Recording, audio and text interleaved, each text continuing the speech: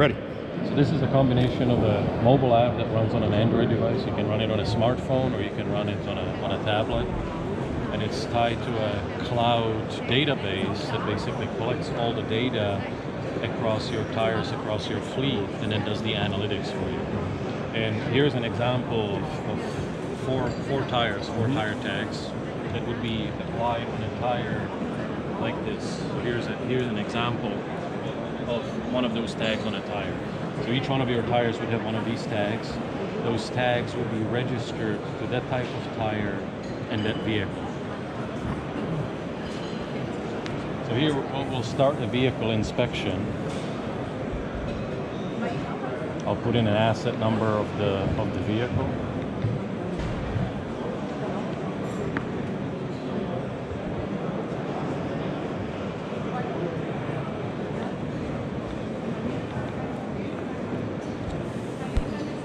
So here's my four-wheel van.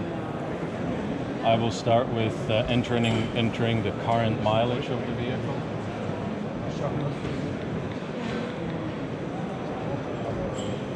And now I can start inspection, and I'll start the inspection by scanning one of the tire tags.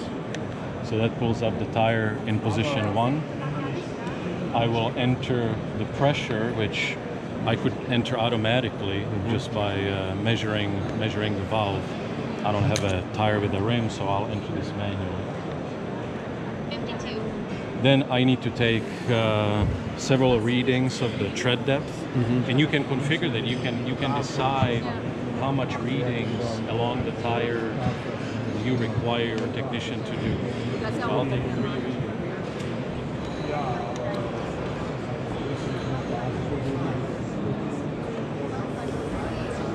So you can already see the three readings there, and I don't know if you can hear it on the camera, Yeah. but there was a there was an audio uh, confirmation for every one of those one of those readings. So now I'm done with this tire. As you can see, there's a green dot on the tire, which means that tire's done. And I go to the back of the vehicle. I scan the next tire. This is tire in position four, and I can I repeat the same process.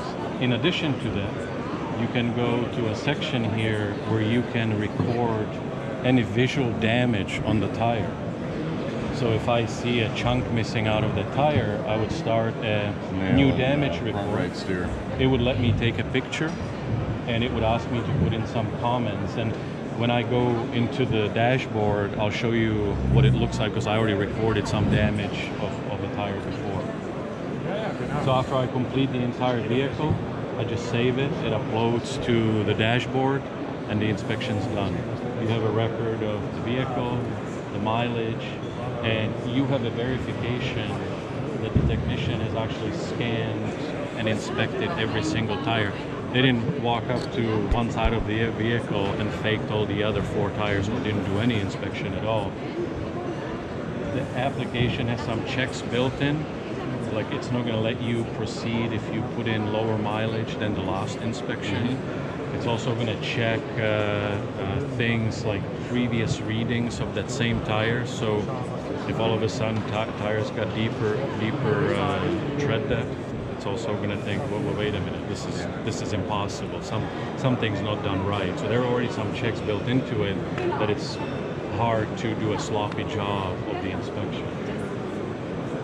So you were talking about cost analysis over there, somewhat as in uh, you know, paid by mile and so Yeah. forth. And I enter a price point in this, and then you can tell me if I've already inputted the mileage that's into that, right? You can basically calculate what my cost per mile is. Absolutely. So It we does now- do that. We now we can now go into the dashboard. So the fleet owner or the, the service manager would have full access uh, to this dashboard.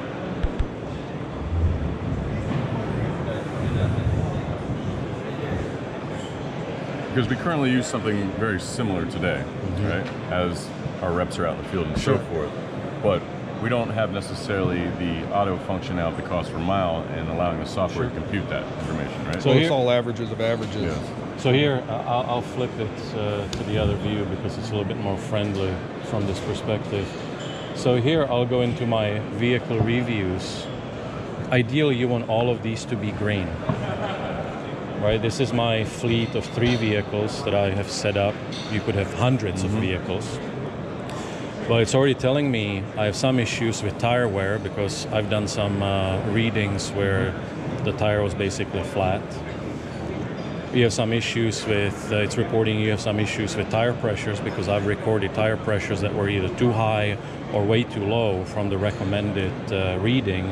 And then there's some other issues of uh, tread depth, uh, mating tires on two vehicles, tires that, uh, because of the mileage I was entering, still show up in the same location and they should have been probably rotated uh, mu- th- thousands of miles earlier. Yeah. I can go up here. I can see this Ford van. Mm-hmm. Everything's okay there, but these two are red. So I can go into this vehicle and review the inspection the inspection data. So here is, for example, the last inspection for each one of the tires. I was telling you I recorded a damage or one of the earlier inspections, so this is already recorded here. It was a puncture, and I uploaded a picture.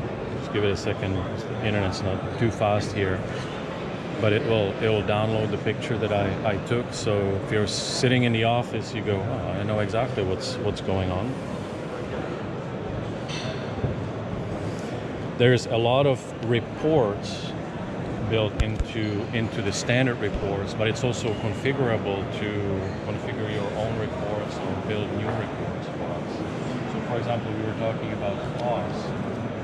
So it takes into account all the information that you pre-configured it with, Mm-hmm. and then it does some cost calculations. Oh, you can select a branch. So you ha- if you have an operation with multiple branches, you can set up each branch as an individual entity in the software. So you don't have to just look at the entire picture of your fleet. You can look at individual branches of your fleet. And then I can start generating some some reports. So here, based on the information that was put in and the different inspections it's all over the that, right that now, we've but put in here, it starts telling you what your cost per per kilometer may be on uh, Ah, on, okay. on your Very uh, interesting. on your tires or on your on your fleet. And that's per vehicle. Can it do it even across the board for my entire fleet one calculation, or only per vehicle? It can do it Yeah, you do it however you across, want. I mean, you know, the, the, all the data is behind the system. It's just a matter of how you spin the data So per vehicle, per location, per fleet, per tire. per tire. yeah, so I, I will show you how you decide to collect it. manage tires. Does this work with other systems, like uh, other fleet management systems? So, so look uh, here we have Maybe you could configured all different brands and types of tires that the fleet may approve may have approved for for using or purchasing go. for Yeah. their vehicles. Right, so I can tell on this van I have Hankook tires this type, or on this truck I have Bridgestone tires of this type. or different retreads or whatnot, right? As well. So you could and you could find what works best for the, you. the, the yeah. system then starts tracking it, and because you have done all the data of um, how many kilometers or how many miles they have traveled, what what the either actual or recommended parameters like pressure or tread depth are for those. All this data is available in the background to start spinning and analyzing in any way any way you want. Here's my next question.